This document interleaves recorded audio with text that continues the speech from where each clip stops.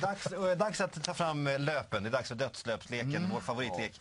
Du vet vad det handlar om. Du har Det följt är din programmet. Ja. Alex. Det. Ja, det handlar alltså om att du dör. Eh, eller vi leker det, det, detta. Och eh, då har man då olika löpsedlar. Som, eller vi har tre olika alternativ. Och då är det då så då undrar man vilket löp skulle du välja alltså, så här, att dö till? Ja, och då är då det här. Du kan, Alex älskar det här. Man är också alltid lika nervös över hur det ska bli. Ja, för att jag vet inte alls om du blir upprörd nu. Jag, jag, jag tror inte det, men Nej. det här är en situation jag aldrig varit utsatt för. Ja. Så det Så här skulle du kunna säga. Ingen press, Alex. Ibland är det så här, nu, nu, nu eh, skriver han sina böcker i himlen. När Bergman dog, nu, Ja. nu gör han sina filmer i himlen. Eh, Så stod det det på Ja, men kanske inte på löpet, men det var ju en rubrik. Ja, ja, Ja. Och då skulle det kunna vara så här, nu sjunger han sina kupletter i helvetet.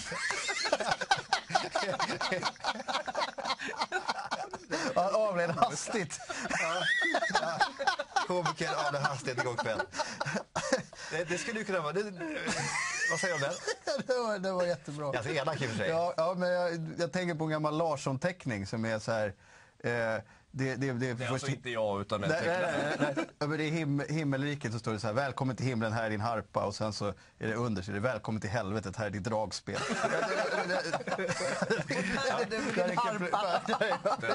Du plockade nästan fram ett Ove-skratt där. Ja, det var nästan så. Ja, det, var, det kom det. Okej, alternativ två. Eh, kanske inte alls lika roligt då, men det är i alla fall en ordvits. Man vill ju ändå ordvitsa ibland när man gör rubriker. Särskilt när hon dör. Ja, och då skulle det kunna vara Henrik Dorsin dog som ett svin.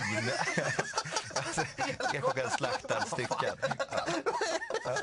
Det är Kalle, Det, vet det, du. han- det, det är faktiskt inte, det, det, det är ju inte ett ordvits, det är ju ett rim det första, eller hur? Du har helt rätt i det, förlåt Henrik. Ja, Du m- märker här nu saker. Ja, det, det, det men eh, ja, Du har rätt, det är ett rim. Det är ett rim, eller hur? Ja, det, är, det är helt klart Henrik så. Dorsin dog som ett svin. Det här blir kuplett, en början Henrik. Dorsin dog som ett svin. Det skulle kunna bli Helkonkt, kuplett. slaktad och styckad. Ja, Ja, det är någon som inte Tanken gillar Henrik som har gjort det där. Ja, Så det- det löp du väljer får du sen ta med dig hem och ha på väggen. Det är därför du måste vara lite, en, en, en, ja, betrakta dem noga. Ja, ja. Eh, och slutligen då. Gillar kupletter. Eh, just det, och här kan man då le leka med ord med så här, vad har du gjort i livet? Du har gjort gro- grotesko, kan man leka med det. Ja. Eh, Dorsin, groteska död. Hål i tarmväggen fick komikerns lungor att fyllas av avföring. Det är jävla äckligt. Det. Ja, men det är, ju det är groteskt. Ja. Men det är lite Hur du tog den vet, sig mellan tarmväggen till lungen? Ja, det är, det är groteskt.